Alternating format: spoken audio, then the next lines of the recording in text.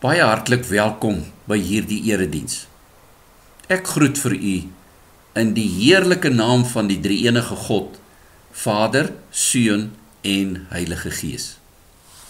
Ek nooi vir u om saam met my vanmôre te lees en ons lees uit 1 Timoteus hoofstuk 4. Alhoewel die einde van hoofstuk 3 'n kosbare 'n boodskap inhou. 3 vers 16 en die geheimenis van die ware Godvreesendheid is sonder twyfel groot. Hy is geopenbaar in 'n menslike liggaam, regverdig bewys deur die Gees, gesien deur die engele, verkondig onder die nasies, geglo in die wêreld, opgeneem in heerlikheid. Maar die Gees sê uitdruklik dat in die laaste dae sommige mense van die geloof afvallig sal word, omdat hulle hulle ophou met dwaalgeeste en die leringe van demone. Hulle word beïnvloed deur die skynheiligheid van leuenaars wie se gewete toegeskroei is. Hulle verhinder mense om te trou en laat hulle sekere kossoorte vermy. Terwyl God dit geskep het vir gelowiges, diegene wat die waarheid insien om dit met dankbaarheid te geniet. Want alles wat God geskep het is goed en niks wat met danksegging ontvang word is verwerplik nie omdat dit deur die woord van God en gebed geheilig word. Wanneer jy hierdie dinge aan die broers uitwys sal jy 'n goeie dienskneg van Christus Jesus wees gevoed met die woorde van die geloof en die goeie leer wat jy noukeurig navolg. Vir my goddelose en dwaase mites Oefen jouself om Godvreesend te leef, want liggaamlike oefening is wel in 'n geringe mate nuttig, maar Godvreesendheid is nuttig in alle opsigte. Dit hou belofte in vir die huidige en die toekomstige lewe. Die uitspraak is betroubaar en werd om ten volle aanvaar te word, want hiervoor werk ons hard en stry ons omdat ons ons hoop geplaas het op die lewende God wat die verlosser van alle mense is, veral van die gelowiges. Beveel en onderrig in hierdie dinge. Laat niemand op jou neersien omdat jy jonk is nie, maar wees 'n voorbeeld vir die gelowiges in woord, in gedrag, in liefde, in betroubaarheid, in reinheid. Ons lees tot sover uit die woord van die Here. Paulus noem hierdie groot waarheid van ons godsdiens 'n misterie. En dit is groot en bo alle teespraak. Hierdie misterie is hy wat mens geword het, Jesus Christus. In die Griekse wêreld was dit vreemd vir mense dat die gode mense word. Trouwens die indruk wat mense van die gode gehad het was dat die gode nie regtig vir mense omgee nie. Hulle het natuurlik 'n groot vrees vir die gode gehad omdat die gode wispelturig was en vir hulle kon leed aandoen. Maar die mense moes hard werk om die guns van die gode as ware te wen. Die lewende God in teenstelling is lief vir mense. Die lewende God soek die mens op.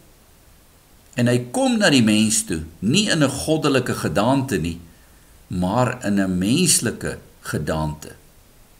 En hierdie waarheid is so groot trouens dit is die waarheid wat die gemeente die beskermer van is en ook die draer van is. Nou is daar dwaalleraars, skyn heilige leenaars wat vir die mense kom sê dat hulle allerlei reëls moet navolg. Hulle verbied mense om te trou. Dit beskou hulle as godvreesendheid en om sekere kossoorte te vermy, glad nie te eet nie. Hierdie is nie godvreesendheid nie, skryf Paulus vir Timoteus. Daar sal mense wees wat aan die einde afvallig sal word omdat hulle misleidende geeste gaan navolg. Maar tussen al hierdie bose geeste is daar een gees, die Heilige Gees. Hy begelei die mens in die volle waarheid. reëls oor om te trou of nie te trou nie, om te eet of nie te eet nie. Hierdie tipe van asketisme, dit wil sê om jouself te onthou van sekere goed, jouself selfs te pynig of te kastei, dit hou geen waarde in vir Godvreesendheid nie. Hierdie is 'n dwaling wat vermy moet word. Nee, om Godvreesend te lewe beteken nie dat dit 'n lang lys van moets en moenies is wat 'n mens moet navolg nie. Dit groei uit 'n verhouding wat ons met ons hemelse Vader het deur die seun Jesus Christus.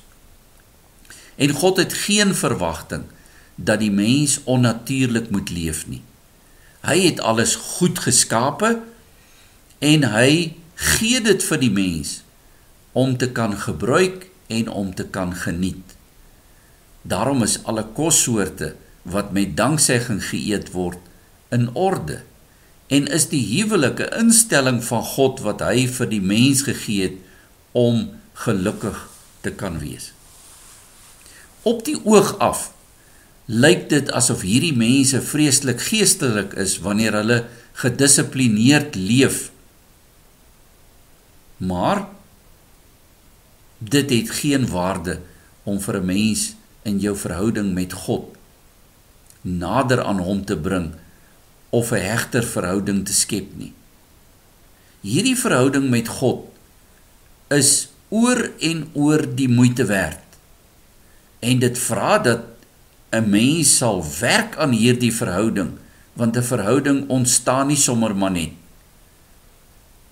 Dat ons as mense moeite sal doen om vas te stel wat vir hom belangrik is want die verhouding vra opoffering. Hierdie opoffering wat een ek van ons kant af gaan doen is egter gebou gebou op die fondament van dit wat God in Christus reeds vir ons gedoen het. Hy het sy lewe vir ons gegee. Hy het die verhouding tussen ons en die hemelse Vader herstel. En daarom kan hierdie geweldige groot daad wat God in Christus gedoen het, nie ongesiens verbygaan nie. Ons kan as mense dit nie ook maar net neem as 'n gerieflike uitweg nie. Die Christelike lewe vra ook offers. En nou roep Paulus vir 'n jong Timoteus op om homself in te oefen in Godvreesendheid. Die woord oefen gymnasia klink nogal soos gimnasium wat vir ons bekend is. En die Grieke het natuurlik fisiese oefening as baie waardevol beskou. Maar Paulus beklemtoon dat 'n toegewyde lewe aan God om erns te maak met jou verhouding met God waarde het bo alle dinge omdat dit waarde het nie net vir hierdie lewe nie maar ook vir die toekomstige lewe. En daarom gebruik hy woorde wat daarop dui dat 'n mens doelbewus, intentioneel van jou kant af werk sal doen, sal insit. Om gelowig te wees beteken dat jy ook jou lewe van jou kant af sal gee. Disippelskap en dissipline is dalk nie ver van mekaar af nie. Natuurlik verskil die rede waarom ons ons lewens gee van die van die askete wat dink dat hulle hulle self moet onthou van 'n klomp goed omdat God dan dit sal raak sien en vir hulle dan die aandag sal gee wat hulle graag wil hê. Die rede waarom u en ek moet offer, hard moet werk, moet insit, moet oefen lê egter in die feit dat ons weet dat God reeds in Christus vir ons die verzoening bewerk het. Maar dit lê ook in die feit dat ons nou ons hoop op die lewende God plaas. Hierdie lewende God wat vir ons die verlossing gebring het en ook die verlosser is van alle mense. Timoteus sê Paulus, jy moet dwaase en goddelose mites vermy. Wys vir die broers daarop dat God die skepper is van alles wat mooi en goed is. Wees jy 'n voorbeeld. Die Griekse woord typos lyk vir ons soos tipe. In woord, gedrag, liefde, betroubaarheid en reinheid. Jy moet hierdie voorbeeld as 'n geweldige groot en belangrike verantwoordelikheid beskou. Nie reëls nie, maar Timoteus, hoe jy leef omdat jy weet dat God jou in Christus Jesus liefhet. Nou hoe kan 'n mens jou inoefen? En dit bring vir ons natuurlik by 'n lang tradisie in die Christelike geloof van die geestelike dissiplines. Die lewe van geregtigheid waartoe God vir ons roep, vra dat ons sy wil sal vasstel en dit sal uitvoer met krag en effektiwiteit en met vreugde. Kom ons neem byvoorbeeld waarheid. Hoe kan ek my inoefen om in die waarheid te leef? Natuurlik sal Paulus vir ons heel eers sê dit is om jou nooit van Jesus Christus te laat losruk nie. Hou in die geloof aan hom vas. Maar eenvoudig gesproke ook in jou lewe moet jy in waarheid leef en die waarheid praat. Jakobus het ook vir ons in sy brief geskryf hoe moeilik dit is om die tong te tem. Dis so maklik om in die lewe te reageer. Wanneer iemand jou kwetsend aanspreek wil jy outomaties terugdraai en die persoon verwond. In plaas daarvan vra die Here Jesus dat ons moet seën. Seën die wat jou vervloek. Bid vir die wat jou vervolg. Kom ons oefen dit in. Wanneer u en ek die volgende keer in ons gewete aangespreek sou word dat ons dalk nie die volle waarheid gepraat het nie, gaan terug na die persoon en sê dit vir hom of vir haar. Ek het nie die volle waarheid gepraat nie. Dit gaan jou weerhou daarvan om maklik 'n leuen te vertel en van die een leuen na die ander naderhand 'n leuen te begin leef. U sien in ons lewens het waarheid relatief geword. En daarom is dit so kosbaar dat ons in die waarheid sal leef. Die Christelike tradisie hou sewe doodsondes voor: hoogmoed, jaloesie, luiheid, woede, gierigheid, vraatsug en losbandigheid. En natuurlik weet God dat ons as mense sekere behoeftes het aan kos, aan slaap, aan fisiese oefening, werk, vriendskap, koestering, die seksuele.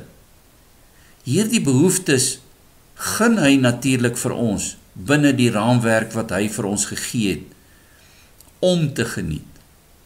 Maar daar's ook ander behoeftes wat mense het, behoeftes aan gerief, gemaksig, materiële sekuriteit, jou reputasie.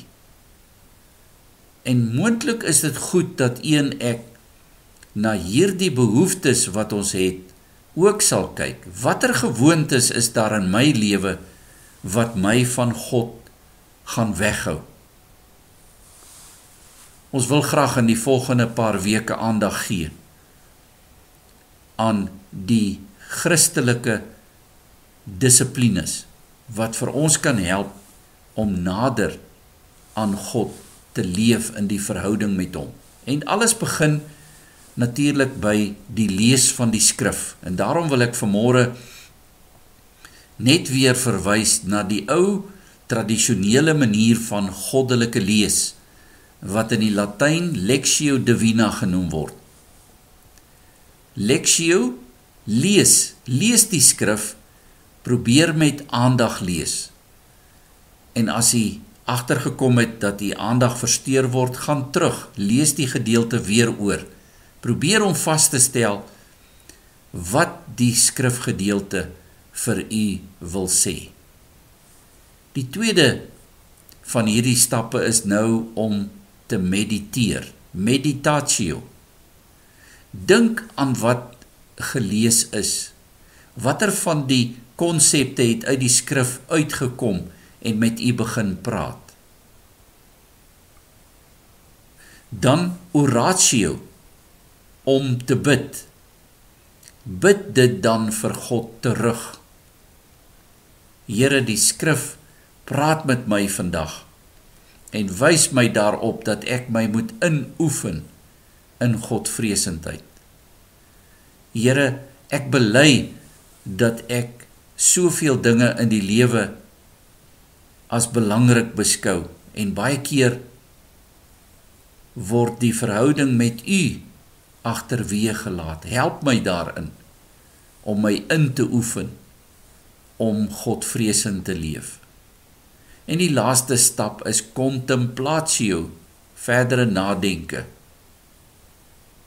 Om in besonder die liefde van God te kan beleef, hoe hy met my as mens besig is besig is om my te vorm om te leef 'n persoon wat Godvreesend leef. Mag u en ek ook vreugde vind in dit wat die Here vir ons gee in sy woord en deur die Gees, maar ook in die mens se aktiwiteit van inspanning en inoefening om nader aan God te leef. Amen. Kom ons maak die oë toe dan bid ons saam. Hemelse Vader, die geestelike dissiplines is vir ons so kosbaar. Dankie dat ons kan kyk na die kruis en kan sien dat hierdie verhouding wat U met ons opgeneem het, 'n nuwe verbond wat U met ons gesluit het, gekos het dat U U seun na ons toe gestuur het en Jesus Ons loof en prys U daarvoor dat U bereid was om afstand te doen van U godgelyke bestaan om 'n mens te word en om ons te kom dien. Ons bid nou en vra Heilige Gees, lei vir ons in in die tyd wat kom dat ons ons kan inoefen in Godvreesendheid. En gee vir ons ook die praktiese riglyne vir die lewe sodat ons met beter en groter toewyding vir u sal dien. Dit is ons innige gebed in Jesus se naam alleen. Amen. Ek bid nou dat die genade van die Here Jesus Christus en die liefde van God en die gemeenskap met die Heilige Gees met u sal wees en sal bly. Amen.